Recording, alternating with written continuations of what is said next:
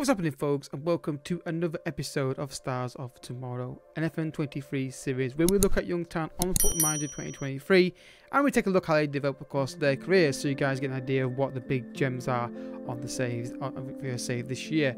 Down below, guys, don't forget to hit the like button and subscribe to the channel as well. Also, down below is don't forget to leave a comment on any feedback is welcome. I am restarting the Discord soon. I need to just work out um, what section to put in there and just restart it from fresh and all the rest of it because I feel like it's I think I just feel, I feel like I want, I want to fresh start everything and go for, and you know I've learned a bit more about Discord and all that so yeah. Down below also my Let's Play channel which has got Resident Evil 4 on there remake on there also soon to be coming on there Jedi Survivor go check that out as well so today, guys, looking at goalkeeper, which I think is one of the first time we've done this on the series this year. Goalkeepers are not that long episodes because there's literally nothing really to look at, really. Um, but goalkeepers are something that people will want to look for their saves. I know I am, my Man United save off camera that I'm doing, um, and this could be the guy based on what I've seen. Um, so, for in case you know who he is, it's top of the screen there. It's, it's Gavin Bazunu. Now, if I remember correctly, he's the first goalkeeper for Southampton. He's when I've watched him play recently. He's been, he's been, I'm sure, I'm sure he's been in net. So um, he has a.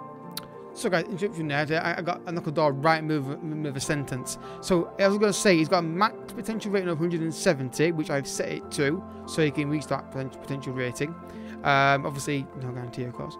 Um, but straight away, goalkeepers. Look at the stats. Straight away, good out. He's, he's six foot two.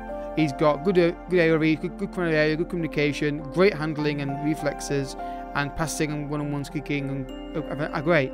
Now, the only downside to this guy is in season one, he has signed new contract at Southampton, so you can't sign the first season, as I found out Man United said, um, which I would love to get this guy and, and back up to the hair and play in cup competitions, but can't do it yet. Um, so, so to look rely on a coach report, which is a very consistent performer, is a pretty good, good goalkeeper in the future, and he's got three star current ability and three and a half star, maybe four and a half star potential, which is not bad for a goalkeeper. Now, I'm like Sir Alex Ferguson. I'm not great at signing goalkeepers.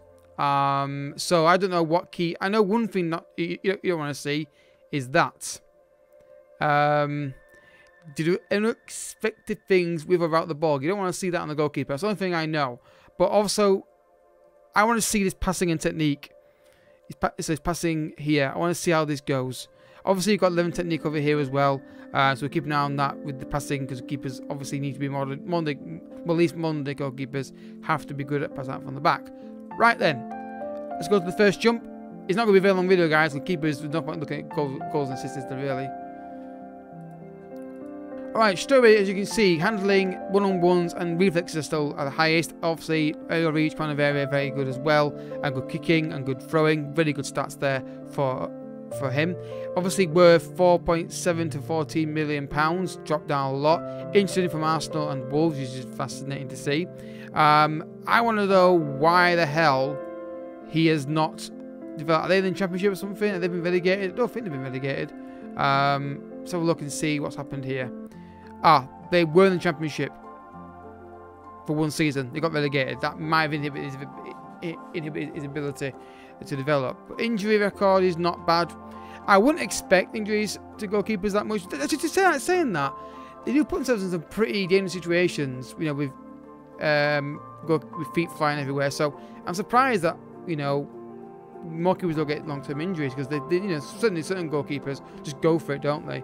Um, obviously, remember the, the really unfortunate incident with Cech. So I'm I'm surprised how many when you think about it, how many keepers don't get long-term injuries from like even if it's just like a, a fracture or a or a dislocated finger or something because or, or wrist something because obviously painful football you know what I mean? It's, it's surprising. Um, must be very very well um, good, good I don't know what the reason is but surprising isn't it? So yeah straight away you can see good abilities. Obviously obviously 20 years old so we're going to do five year jumps because keepers do develop can take longer to develop and they can last longer as well. So we can go a lot further than we would with um, normal players because obviously physical stats don't really mean that much other than jumping reach obviously. Uh, mental stats, pretty standard really, nothing really amazing. Good termination and good vision. Uh, it's passing up to 13. I want to see that go a lot higher, but like I said, we're going to go five years in the future now. Now, so that's that's going to go up, I think. There is a, relegation release clause in his contract. Again, this is my save only, so your save could be different. Um, but 47.5 million pound with a, a, relegation release clause in there, just in case you're curious about him getting a, a release clause in, in, in your save. So, number five years. Let's go. Well, he's gone to Manchester United, and the holy mother. Look at this. This is a fantastic goalkeeper. Um, obviously get a transfer fee in a second as well. Um, good at 17 aerial reach, 17 command of area, handling 16, one on one 17. He looks at 17 and throwing 17. Excuse me, can't talk. I'm so stunned how good he is, I can't get my words out. Absolutely, even even me, who's an idiot at selling goalkeepers, can tell this guy's absolutely fantastic. Um, brilliant stuff. So, where did he go to? So, obviously, Southampton sold him for 11.5 to Fulham, and he got um, not many clean sheet, well, clean sheets. Ten. Why is that showing on there? Okay, uh, ten clean sheets in total that season. Then he got seven. Then he got eight. Man United signed him for 58.3 million pounds. Who was the player that casted the player? That's the first time I've ever seen that actually on a review. 50, 50, 53 million pound, not a bad deal. 13 clean sheets that first season, and then 20 the next one. 53 million pound plus a player is not bad um, for this goalkeeper. And given that the longevity of keepers is quite long, literally, um, this is a very good deal. Irish as well, I forgot to mention that, um, is the is Republic of Ireland. So really interesting goalkeeper. I like him. I really, really do. I think he's someone that you can definitely try and get early on as a backup to your main goalkeeper. Maybe, for example, if Man United, given his, given his, he's at Man United on here, sign him for for De Gea's backup, and then move move De Gea on. I'm gonna try and do that. Uh, I'd like to get this guy in my main goalkeeper, but whether I can do it, I don't know. I probably can, so back the bullet, pay, back the bullet and pay the money probably. So yeah, um, I'm assuming he's gonna go, he's gonna go up again because he's gonna five years as a goalkeeper. Yeah, like I said, this is fantastic. I mean, the only thing that I would say is a bit of a is a bit of a problem would be the first touch and the communication, but they're not exactly super low, are they? Um, mental stats surprising that they're not as gone not, not, not gone higher. But look at that. I mean, I don't have to say anything. I really look at it? It's just if all the major all the stats are 15 or above, apart from three that we really care about. The one that we don't really one we don't really want to focus on is the eccentricity. That's four, so that's perfect. So available line goalkeeper. We've saw it in the scout report. Um, injury record. So we'll look here is pretty good. Again, like I said before, don't really see many keepers getting major injuries in my saves uh, or in IRL. So clean sheets for United. So 13 that season, then 20, then 21, 19, 21, 18, and 20. 53 million pound, 11.5 if you get him for even cheaper than that if you manage to get him out of there early and keep him for this. Great deal. I'd love to know who the player was that they exchanged for him. Can we find that out? Probably can. What year was it? What year was it? It was the 2031. And he'd gone to, he'd gone to Fulham. So let's have a look.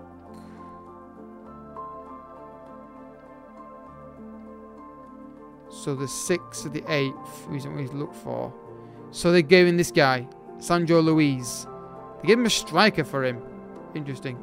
Um, interesting. But yeah, absolutely phenomenal goalkeeper. I mean, we could go even further to 40 years old, really, couldn't we? But I don't think you get much more than this. I think it's pretty much obvious that this keeper is a fantastic goalkeeper. Plus side to him, almost perfect goalkeeper. Um, downside to him, costs more if you don't get him early on, and maybe that communication and first touch could be a issue maybe, but I don't think it really is. Um, but I would definitely sign him, guys. I think bite the bullet and get him. If you can get him for less than 50 million, 50, 53 million pounds, you've got an absolute bargain there. Even if it's 53 million, in a bad deal. So, like I said, guys, if you've got a play you want to look at in the comment section, let me know. Obviously, don't bombard it. I do have a lot of space now for, for people to give requests. Uh, I'm not going to make this daily series because it, it, takes time to do these videos, to find players and them to develop. Um, also, Discord's coming back soon as well. I'm going to do a video on my Discord when it's up and running so you can see it and what we're going to be doing. Try and push it a lot more. Start fresh everything. Um, try not to try and set it up with we're not we spend any money on it because it's not worth it's not, it's not worth it when you've got basic hours at work to spend money on a Discord. Um, obviously things change, but we'll see. So guys, If you enjoyed the video, hope you have hit the like button down below, subscribe if you're new as well. Don't forget to check out Let's Play channel down below, and I'll catch you all in the next video. Until then, thank you for watching, bye bye.